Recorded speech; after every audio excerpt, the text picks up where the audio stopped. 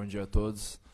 É, acho que numa final, acho que se você for ver o peso das duas camisas, são duas grandes equipes, duas equipes que for ver no cenário de campeonatos é um dos times que vem mais ganhando títulos nos últimos anos. É, eu acho que independente de, de elenco, acredito que se for ver por qualificação, a equipe do, do Cruzeiro é mais qualificada, acho tecnicamente pode ser melhor que o do Corinthians. Eu acho e, e se for ver nos decorrer dos anos o Corinthians quando foi campeão sempre foi é, teve outro espírito se tu vê o histórico de, de títulos do Corinthians é muitos títulos na vontade na, na dedicação na, na superação então acho que nós vamos em busca desse título nessa mesma maneira sabemos que é uma equipe muito qualificada não chegou de paraquedas a uma final chegou pela sua qualidade e mas eu acho que se a gente for para pensar todo mundo tem suas qualidades e os dois são merecedores a, a estar nessa final eu acho que é difícil o favoritismo falar é, um ou outro, assim, na minha opinião.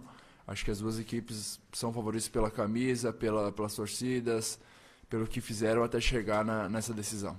Olha, esse professor Jair. Já, a gente já sabe mais ou menos como a gente vai, vai enfrentar o Cruzeiro amanhã. Já, já, já tem trabalhado um pouco, tem, o professor tem conversado sobre o que, que, que como vai ser a, a mentalidade.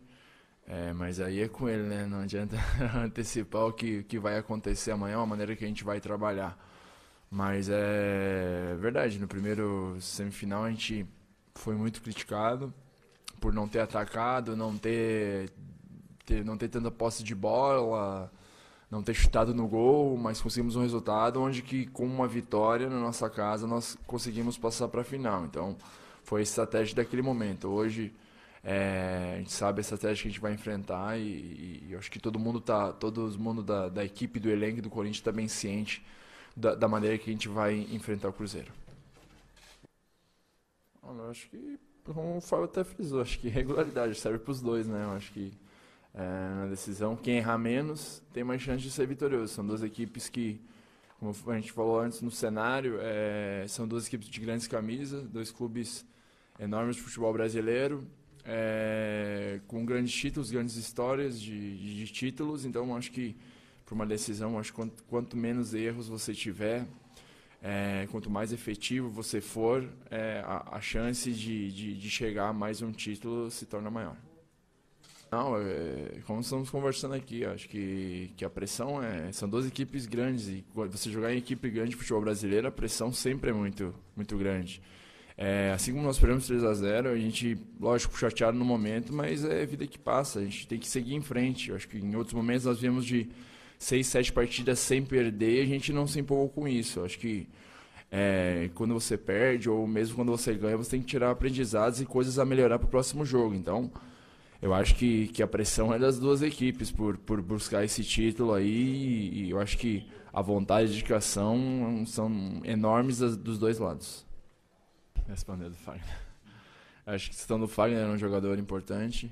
É um jogador que já está há muito tempo no clube, já conhece, um jogador é, vitorioso, experiente. Eu acho que, que nesses momentos conta muito. Ele é um dos líderes da equipe, um cara que está sempre ali pronto para ajudar. Então, é lógico que a gente, se ele não não tiver apto, a gente tem confiança em quem entrar no lugar dele. Mas se ele puder jogar, é um jogador muito importante. Se ele tiver condições de jogar aí, vai, tenho certeza que, que vai nos ajudar bastante se ele puder jogar também. Acho que é a história, né? Acho que a história dos dois clubes é uma história bem bonita, mas é mais uma decisão. Acho que cada um vai fazer seu melhor pelo seu clube e nós para tentar que essa história mude e o Fábio que, que possa ser campeão. Então acho que, como o Fábio falou, dentro de campo, cada um faz o melhor pela sua equipe, no meu ponto de vista também. É, eu acho que quem errar menos vai ter mais chance de, de erguer esse título. Eu acho de poder, de repente, buscar esse título aí, é, acho que sou um privilegiado de estar. Que ser bem honesto, acho que nem nos meus melhores sonhos imaginaria ter feito e estar tá fazendo uma história tão grande é, com a camisa do Corinthians, ser vitorioso. Eu acho que, que ser vitorioso com, com a camisa, acho que de, de for pegar a história, tantos jogadores que, que, que eram consagrados vieram jogar no Corinthians e não conseguiram jogar e eu poder tá tá aí de repente conquistando esse título e, e conseguindo todos os títulos, mas é, acho que com muito trabalho, dedicação, empenho. É, e eu acho que nada caiu de paraquedas, acho que eu me dediquei muito a isso. Então, só o fato de estar numa final, num, onde vai ser dois estádios lotados né, rapidamente, vendeu todos os ingressos, acho que tudo que está entre volta, acho que eu sou privilegiado e, e, e poder estar aqui. Acho que a gente vai lembrar disso futuramente, quando a gente parar de jogar, poder contar para os filhos, para os netos, uma história, um legado que foi deixado. Eu acho que só o fato de estar aqui disputando e estar fazendo a história, acho que já, já é muito gratificante.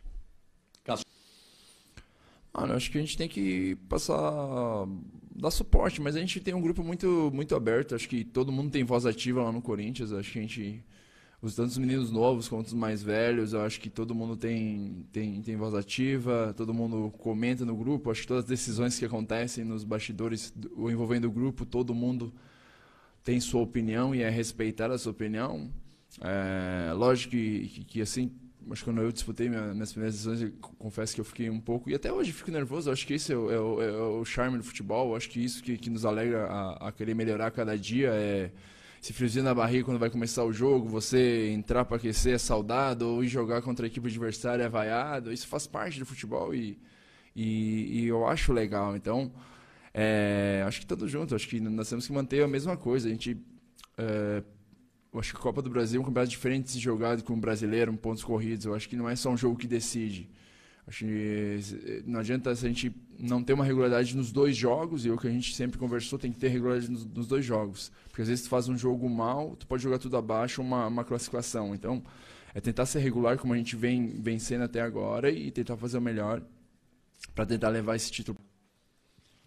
Olha, eu particularmente não. E eu acho que o que, que me faz é a gente faz querer ser melhor a cada dia e não lembrar. Acho que isso vai, a gente vai começar a olhar lá no fundo, lá, lá quando parar de jogar futebol. Acho que tem que fazer o melhor pro dia a dia, independente de, de títulos. Eu acho que é, o Fábio tem muito mais título, é um cara que, que eu respeito muito, tem uma história muito bonita. Acho que é, é nada contra. Eu acho que, que, que, tem jogadores que ficam são vitoriosos um, dois anos, mas um vitoriosos há tanto tempo assim são raros são raros e com certeza para mim ele é uma referência assim de títulos de, de desempenho é, há tanto tempo jogando em alto nível assim. Então é, esse tipo de coisa assim de ganhar títulos de cada dia querer mais querer evoluir mais acho que a gente depois vai ver o tanto título que ganhou não se empolga com títulos com, com, com conquistas. Eu acho que isso é consequência de trabalho porque às vezes se e acho que acontece muito com, com um jogador novo, né? Às vezes se empolga com, com um título e acaba perdendo o foco. Então, acho que,